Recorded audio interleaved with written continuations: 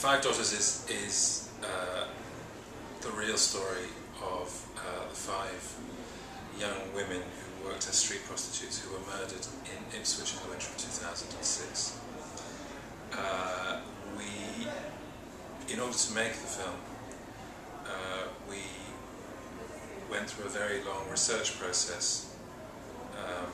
starting initially with the police who had investigated the crime,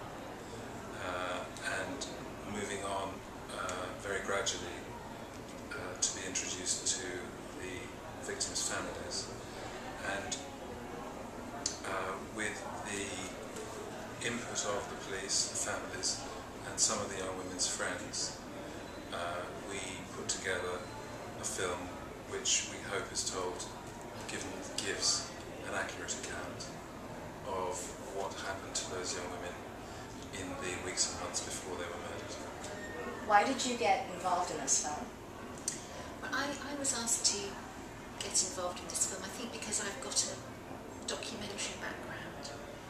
used to making things about real life stories, and also I've made quite a few dramas as well about real life stories. So because this sort of project needs a combination of being able to interview people as well as then turning it into a dramatic narrative, I think that that's why. And also because the story is such a powerful story and I felt that the the women in this story had been so misunderstood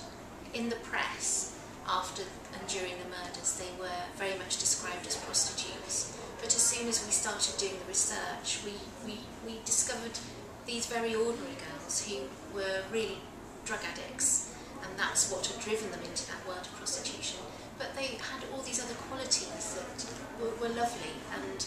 normal and they came from very normal living homes which is not what you would think about street prostitutes and I think for me it was very important to be able to tell the story of these girls' real lives and that they were ordinary girls who loved their mums and had sisters and, and everything else. They, they uh, had been vilified in the tabloid press, uh, vilified and dismissed, and, and um,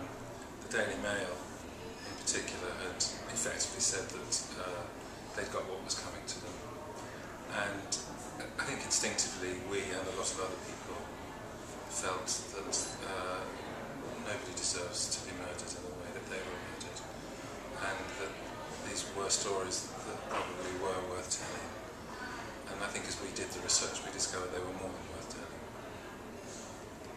What do you hope the audience takes away from the film? I think that, I think a realisation that these women were actually ordinary girls with the same hopes and dreams as us all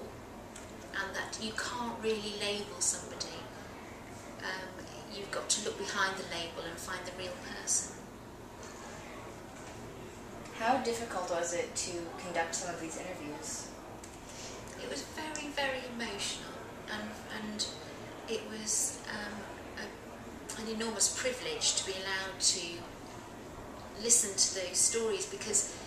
the, the mothers who gave their permission for us to portray their daughters and them had never really told their story to anybody before, apart from from the police during the investigation. But they'd never really been asked about what their daughters were really like, and so it was actually incredible to be able to sit with them and listen to them about what had happened and